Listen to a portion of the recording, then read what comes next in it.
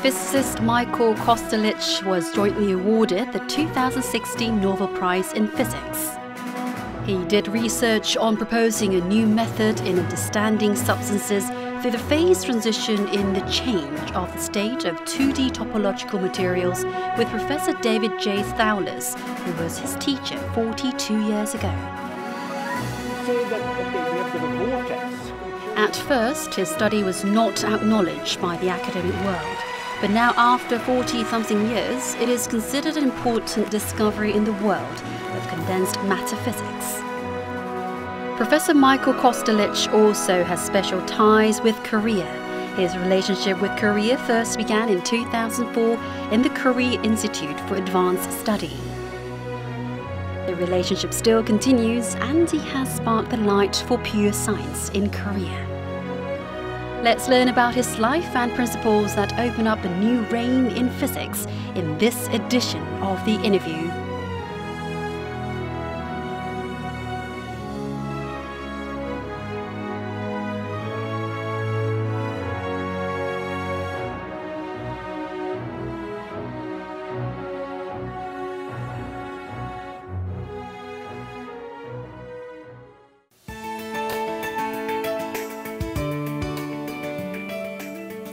Hello and welcome to the INNERview.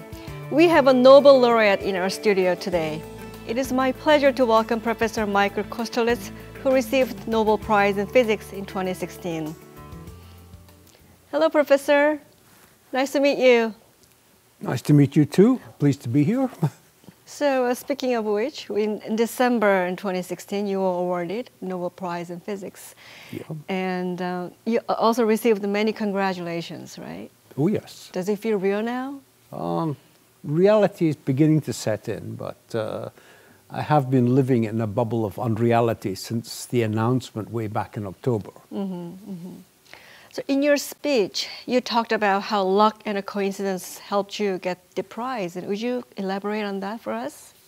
Uh, I was a high energy physicist who had failed to uh, be accepted to go to CERN in Geneva, which was the natural place to go. And so I found a couple of jobs and applied and was accepted for to Birmingham University in Britain. Mm-hmm. Carried on doing high energy physics for a year unsuccessfully. And then in desperation, I was walked around from office to office asking people if they had a problem I could look at I found myself in David Thouless' office uh, where he was talking about all sorts of weird and wonderful ideas mm-hmm. which were about which I knew absolutely nothing. Mm-hmm. Um, topology, vortices, dislocations, and so on.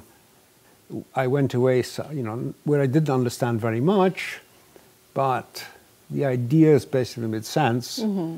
And so I went back to my own little office and started thinking about them, and I suppose you can say the rest is history. So I think one has to say that this series of uh, accidents and, and mm-hmm. luck and coincidences um, were essential. Well, three professors were awarded for the work on the condensed matter physics. We should talk about their respective roles. All right. The Nobel Prize was actually given for two separate but, relate, but related pieces of work. Mm-hmm. Uh, the Nobel Prize was awarded for the basically the applications of topology to condensed matter physics. Mm-hmm. The piece of work I was involved in with David Thouless is purely classical, no quantum mechanics involved. And then uh, that was done at Birmingham University mm-hmm. in Britain. Then David, a couple of years later, David Thouless left Birmingham and went to Seattle where he worked on the applications of topology to quantum mechanics. So the second piece of work for which the Nobel Prize was given was for uh, topology in quantum mechanics, and the people involved in that were David Thouless and Duncan Haldane, and of course some others. But so the Nobel Prize was actually split four ways. Each, so between these four people, uh, each person got each person got an, a quarter, but there's a rule that the Nobel Prize can't be given to more than three people. But it so happened that two of the four people happened to be the same person, David Thouless. So I see. the prize was therefore split. To three people. Duncan and me a quarter each, Right. and David got a half because he was involved in both pieces of work, I see, I see. which is a very fair division. Right. Going back to my previous question, you were awarded for your work on condensed matter physics. Now, that's way beyond my understanding in physics. Could you explain a little bit about your field?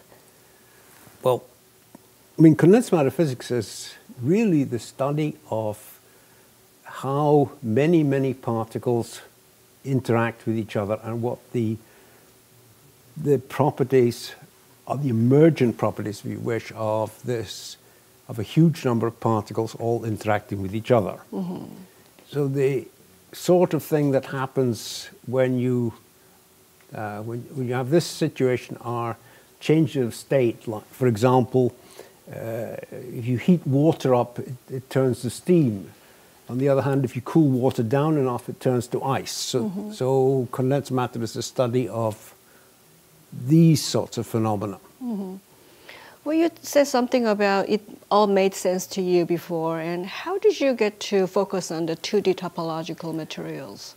When I was in Birmingham, as I said, I ended up in David Thouless' Right. office. He was talking about all sorts of uh, strange phenomena. Then there was an awful lot of unsolved problems in two, di- two-dimensional systems because there was a conflict between experiment and some rigorous theorems. So the rigorous theorems are certainly correct. Mm-hmm. And the interpretation said that a phase transition in the sort of systems we, we eventually considered was not possible in two dimensions. So the, but an experiment existed which clearly showed that the, the phase transition did exist. This was in a, in a film of uh, liquid helium. Mm-hmm. So there was this conflict or contradiction between the interpretation of the rigorous theorems and experiment. Mm-hmm. And so we looked at into these two-dimensional systems and realized that there's something else going on. Mm-hmm. Well, what impresses me about your study is that it endures time. You began this study 40 years ago, and at the time, your study was different from the traditional notion of 2D topological No, material. It no? was no, it was very different. very different. So, when your work was first uh, published, what were some reactions? Uh, it was ignored. You was ignored. Basically, we hardly got any. Uh, our paper was hardly referred to at all Really? for the first few years. First Uh, few more years? More than two, I think. But right now, you get like thousand citations. Uh, right? Yes, yeah. Then people started catching on Mm-hmm. that maybe we'd done something real, Mm-hmm. and then it just grew from there. Right. So it took 40 years for them to understand actually. It, it caught on. Actually, the first experiment that was done to, that proved our theory or verified our theory was actually done and published in 1978. So four, four years or so after we had put forward this, uh, this theory. And actually, it turned out that John Reppy and his uh, graduate student at Cornell had been studying um, films of liquid helium for some time, and they had some data which, um, you know, just a set of points which seemed to follow a straight line. Uh, then they weren't aware of our theory, and then somebody pointed out that a prediction had been- already been made about Already, this slope. already made by. So, yeah, and then so they, so uh, John and his uh, graduate student drew the straight line, Mm-hmm. and w- went right through the experimental data. And the vital predict, theoretical prediction was actually implicit in the work of David Thouless and I did, but we'd never actually um, um, spelled it out in detail. But then in 1977, David Nelson, who was a very smart uh, graduate student at Cornell and was then a, a, Harvard fellow, and I actually worked out the mathematics of this and came up with a prediction which, if you like, was a sort of smoking gun in that it, it was, a, it was a prediction that a certain experimentally measurable quantity should be some number. Mm-hmm. And if, this, if the experiment was done and it came out with a value different from our prediction, mm-hmm. then our theory had to be wrong. And one would have to go back to the drawing board. Mm. But um, the experiment agreed you know, spot on with the, right. with the prediction. So that meant that the theory was probably correct. Was correct. Well, it's hard, but it's very the process. It sounds very interesting. We'll talk more about your um, your study and your life after watching this video clip. Professor Thouless, Professor Haldane. The Nobel Professor Prize ceremony was held in Stockholm, Sweden on December 10th last year. The 2016 Nobel Prize in Physics was awarded to those who studied the change in substances in the world of two-dimension materials. The notion of topology was inducted, and the study explains the topological phase transition of thin 2D materials. The forms of substances are largely divided into gas, solids, and liquids. The topological phase transition explains a transformation from gas to liquids and to solid forms. We easily think that solids and liquids take up space and are three dimensional substances, but solids and liquids as thick as an atom can exist in 2D material form.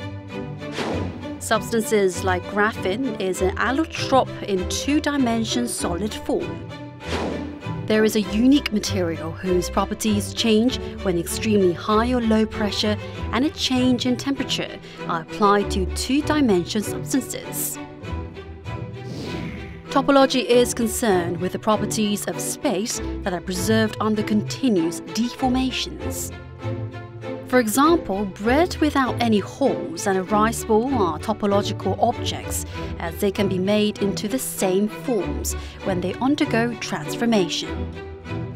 A donut with a hole is like a cup with a handle. They are topologically the same as pretzel with two holes and a pair of glasses. Two-dimension solid forms are the same as the surface of a calm lake. If there is an increase of pressure and temperature, vortex can be formed on the lake and they will be similar to bread with holes in it. The surface of a calm lake and its form with vortex are topologically different substances. The outcome of the research changed the existing theory, and it is considered an important discovery in the study of condensed matter physics in the 20th century. I also found out that you used to study particle physics instead of um, condensed matter physics. And why the shift in your focus? I did my PhD in particle physics because that was the glamorous subject. Mm -hmm which uh, all, all physicists wanted to do at the time. Then I went as a postdoc to Torino in Italy mm -hmm. and continued on particle physics and was doing long, tedious calculations. Then I remember I, I told you I failed to get into CERN, which is right. a natural place to go, so I, I ended up in Birmingham where I continued doing these long calculations. But, and I was just about to write, start writing up my calculation when a preprint arrived from on my desk, which doing, did exactly what I was intending to do, mm -hmm. just done. Mm -hmm. And this came from a group in Berkeley. So I thought, okay, then I, these things happen. And so I started doing another calculation. I just finished it I was about to write it up as a paper when a preprint then- arrived on my desk another- from the yeah. same group in Berkeley. Mm-hmm. And so I, I- decided twice is too much. I can't compete with large groups from America, and so I decided to go and look for some other problem. Mm-hmm. And I mean, I, I was talking to all sorts of people, but the most interesting ideas were in condensed matter mm-hmm. from through David Thouless. And so I said I worked on that. I mm-hmm. didn't care where the physics came from. I was just was just a postdoc, Right. and I just wanted to do something. I wanted to do some some research. I didn't mm-hmm. mind if it was Right. uh, high energy or, or condensed matter. Well, you are currently staying in Korea doing research. Could you tell us about your research here? Non-equilibrium theory? Is Well, it? that's what I came to try to look at, but of course, uh, this Nobel Prize intervened. So and This the winter has been a special began. time. So I haven't had any time to do any any any real work. But out of equilibrium, study of out of equilibrium, equilibrium systems is very important because if you look around in the real world, every system you see is not is out of equilibrium, hmm. and every system is evolving towards some some state. Mm-hmm.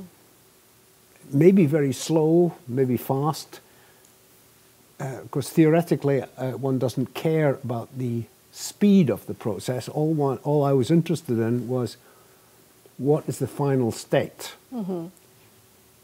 And I wanted to try to understand if there's a way of computing this final state. So that was that has been the object of my research in out of equilibrium s- uh, systems, but it's not too successful. And Not so, yet. Not well. uh, I doubt it'll be successful because it's a very difficult problem. Well, well, Dr. Kosterlitz's ties with Korea goes way back. We'll talk more about this after watching the video clip. Professor Michael Kosterlitz is over the age of 70, but the impetus behind his research activities stems from his father, an acclaimed biochemist who had a profound influence on him since he was young.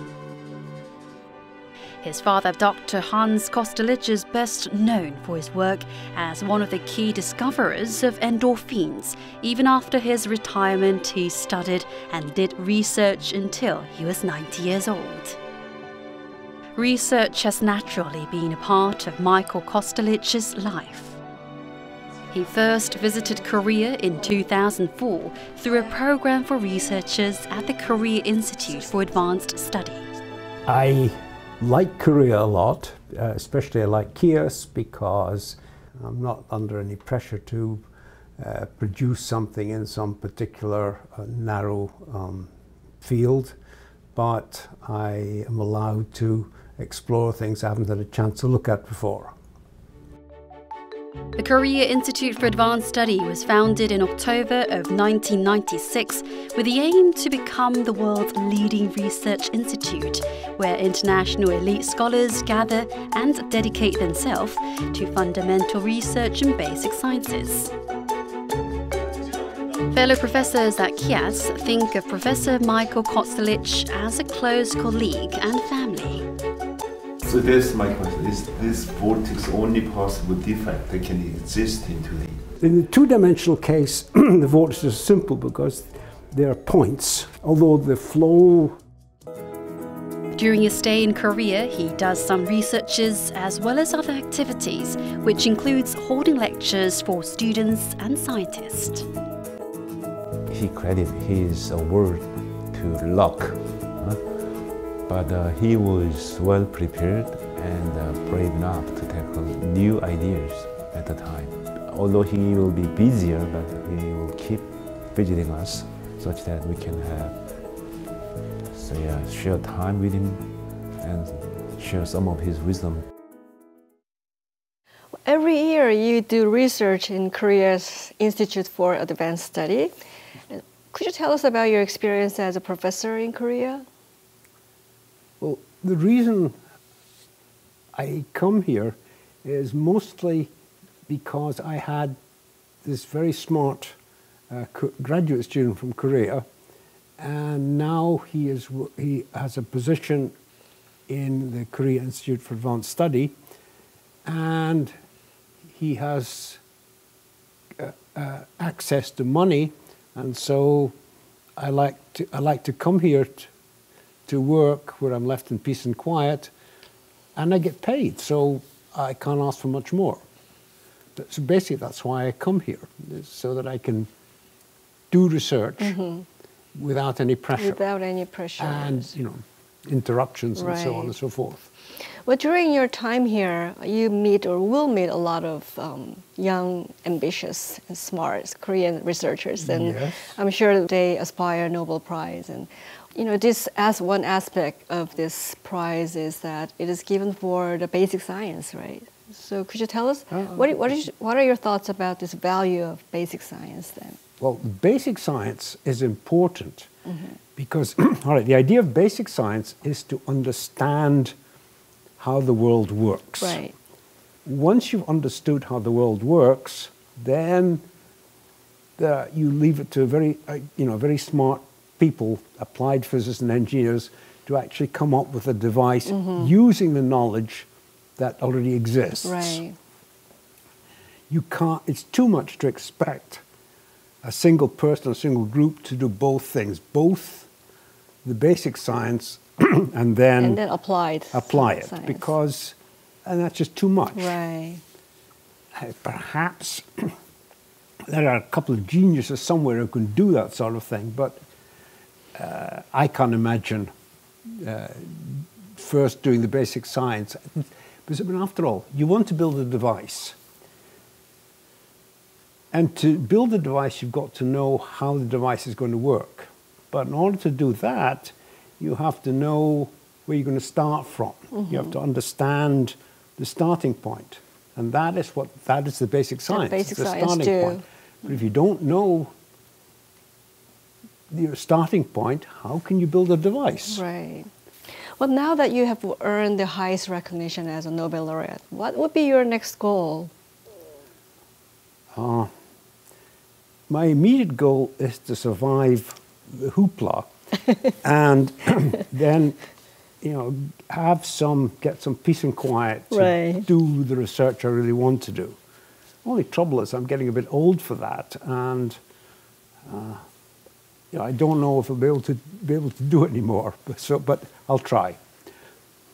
Well, this is the INNERview's official question. I'm sure there are young, ambitious physicists watching this show right now. Would you give them a piece of uh, advice or the words of wisdom that you could give them to our viewers? The only words of wisdom I can give mm -hmm. is do what you like doing or mm -hmm. what you love doing who knows, it might lead to something important or it might not. But in any event, since nobody knows what the next, what the next important piece of work is, you might as well do what you lo love doing. Mm -hmm, mm -hmm. Professor Kosterlitz, it was an honor to have you in our studio. And thank you so much for sharing your passion and knowledge with us. We look forward to your future studies. Thank you very much, and it was an honor to be here and talk to you.